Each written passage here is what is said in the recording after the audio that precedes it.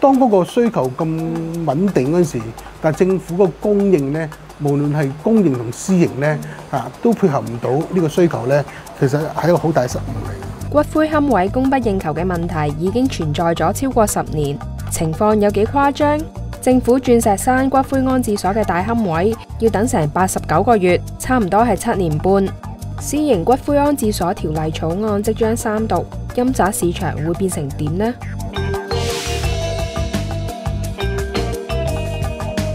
嗱，我相信攞咗牌之後咧，就消費者對於私營骨灰龕誒呢個咁嘅產品咧就有信心啦。而屬下呢個私營骨灰龕呢個咁嘅位咧，係得到即係百分之百嘅保障。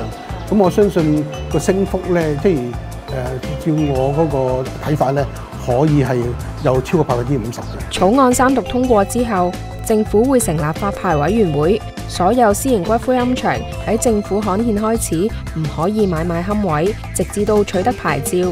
事實上，全港嘅私營骨灰龛場將會面臨一場大洗牌。當呢個法例通過咗之後咧，係由一個發牌嘅機制咧，係去取代咗呢個表一表二嘅。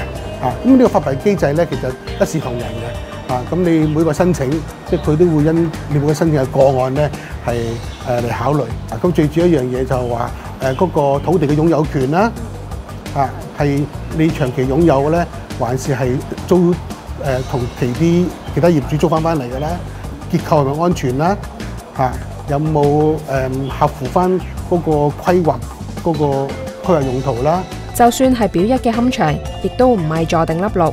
梁錦浩又提醒，喺一四年六月十八號至到刊憲日期間買入嘅龕位，喺真空期甚至未必可以上位。想趕入市嘅消費者真係要小心風險啦。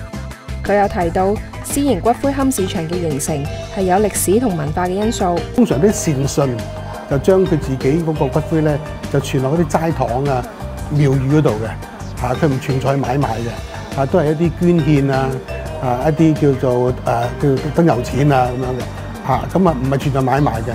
咁直至到去到七十年代之後咧，因為由於嗰個人口嗰個老化嘅問題，個需求多咗之後咧，先至開始有啲私營骨灰庵場咧嘅出現。嚇，咁去到誒誒二千年咧，就呢個問題咧就開始就係明顯化啦。即係既然已經係已經存在緊嘅啊呢啲咁嘅私營骨灰庵場咧，係用一個行政手段，希望用啲比較簡化嘅程序咧能夠通過嘅。